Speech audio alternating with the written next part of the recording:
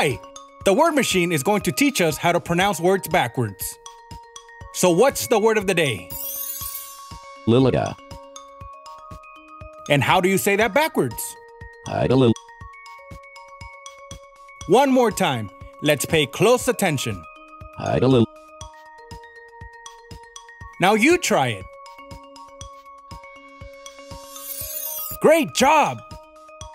Make sure you practice and don't forget to give us a thumbs up.